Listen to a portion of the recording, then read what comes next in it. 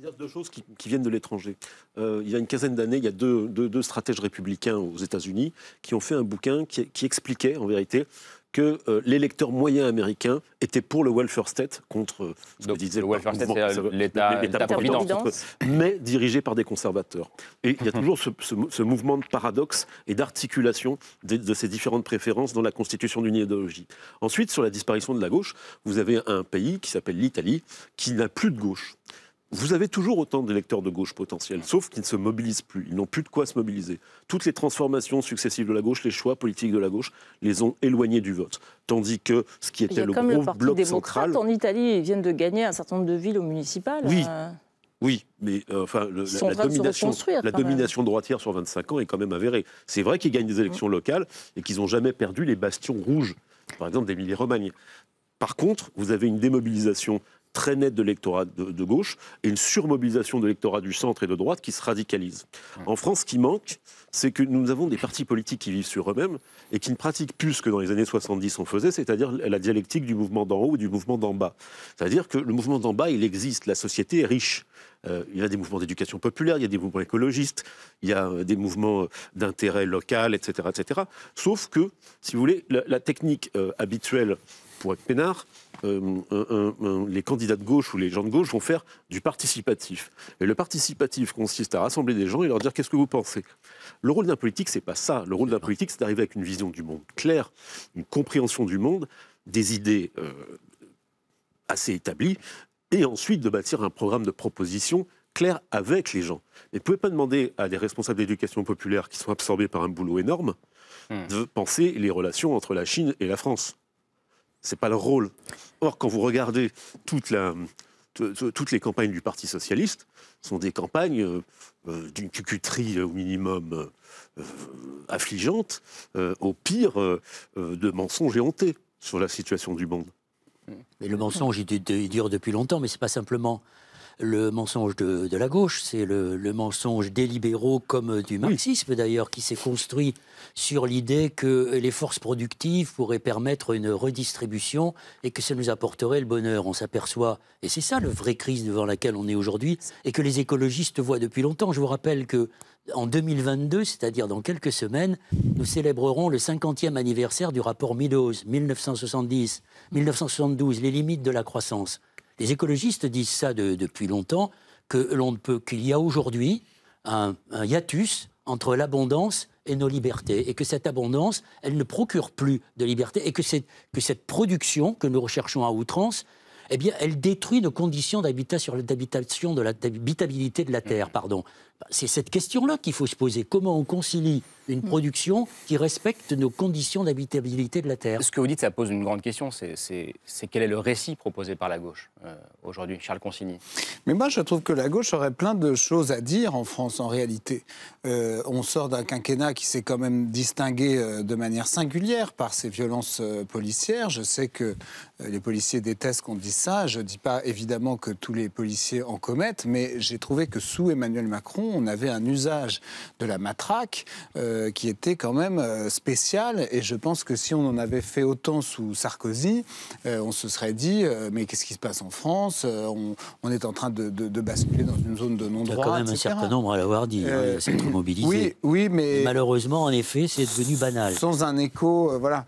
moi, même comme avocat, j'ai défendu des gilets jaunes pendant les, différentes crises qu'il y a eu, les manifestations, etc. Et tout, tout l'appareil judiciaire, policier était mobilisé pour écraser cette, cette révolte. C'était euh, pour moi évident.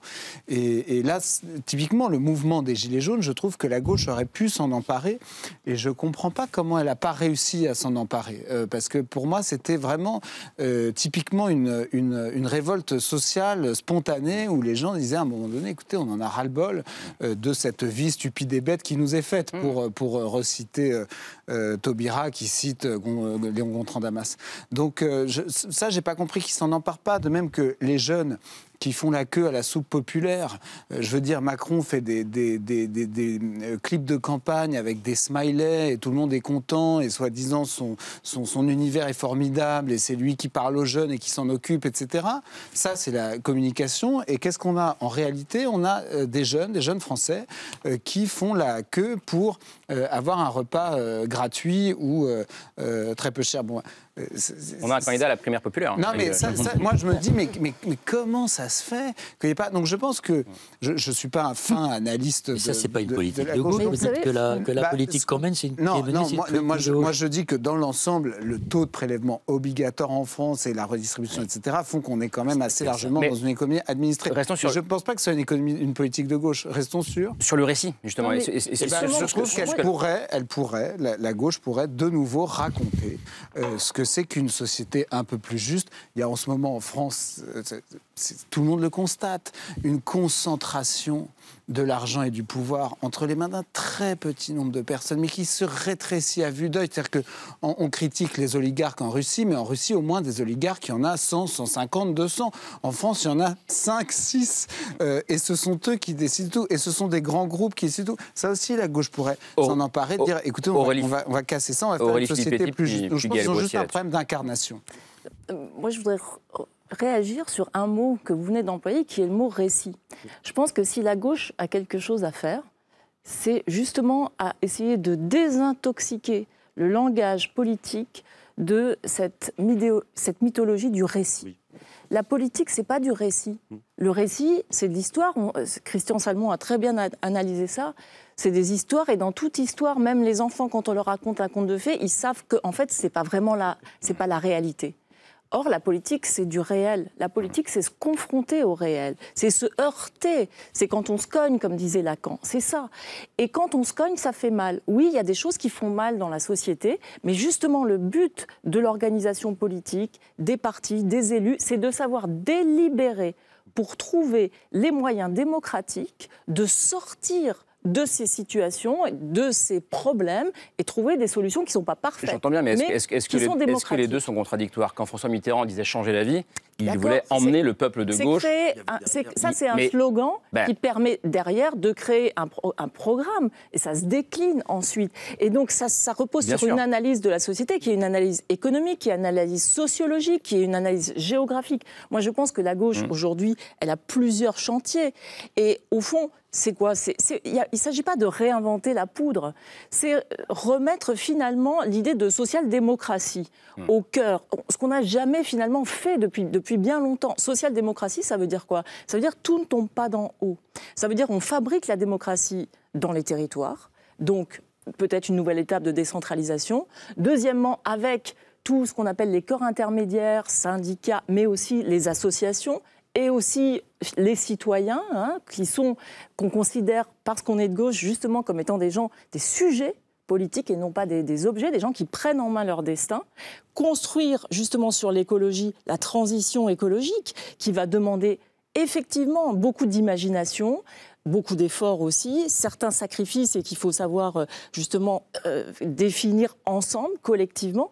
Ça, ça c'est un chantier mmh. pour euh, finalement une social-démocratie moderne et, écologique. C'est, à mon sens, c'est ça l'objectif de la gauche. Je pense qu'il faut quand même un peu faire rêver, mais oui, mais on a beaucoup fait rêver et ensuite c'est déceptif. Parce que je pense que cette histoire de récit, elle est aussi née avec le quinquennat euh, qui a fait en fait du président de la République une espèce de faiseur de pluie. On, l'investit de tous les pouvoirs.